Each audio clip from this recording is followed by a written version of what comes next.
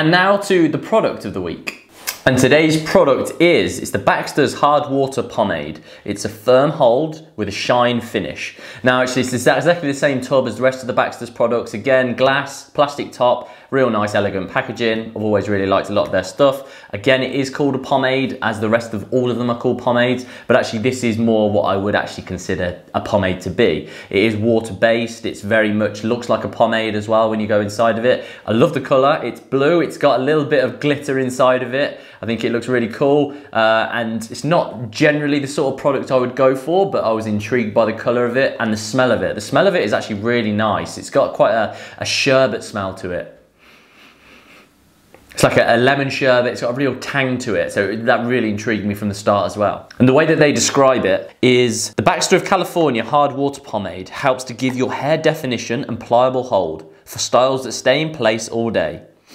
It's easily washed out and won't leave a sticky or stiff residue in your hair. Formulated with water and elastic fibres, it texturizes your hair by separating strands and blending in effortlessly. You'll be in control of your hair from morning until night and you can switch up your style to match your mood thanks to the pliable texture. So I am interested to see how this works. It's not something I would normally go for. I'd go for something a little bit more of a matte finish. The shine is not really something I go for, but I wanted to try this. So I'm gonna go and try and put it in now and see how it works. Because it's a water-based product, obviously when you grab it out of the tub, it's very easy to get out, scoop it out super easy. When you then spread it across your hands, actually it, it very much smears across your hands. It's very much a, a sticky texture and it feels as though it then completely goes like a sort of a mush completely across your hands actually. It's very sticky. Um, it's when you when you work it, you, you first push it on and it it gets harder and harder as you go as you go. Like it's sort of there's more friction there. It's sort of it's sticky. It's like you're going into slush uh, whereas then it just like it quite it's, it's, a bit then harder to actually work it through your hands. Uh, putting it through the hair it, it, seems to go in and sort of stop. So it doesn't like it doesn't feel like it coats all of the hair. You have to sort of keep going back in to make sure you get more of it in, into the top. It's sort of it goes in you like stuck stuck stuck um, which is not necessarily not necessarily a bad thing. It just sort of you you just sort of have to put quite a bit on to actually feel as though it is getting in through the hair. It feels like it gets firm straight away, uh, and then to put it in, it's.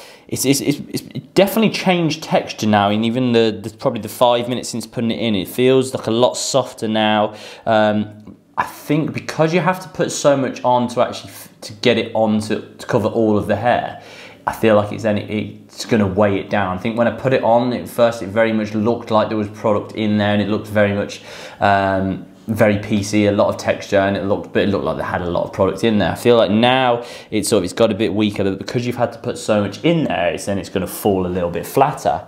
Um, you can run your hands through it quite easily um, and doesn't really get any residue on the, on your hands. It was it's water based, so actually it washes off your hands very easily. I'd imagine it's going to wash out of the hair very easily as well.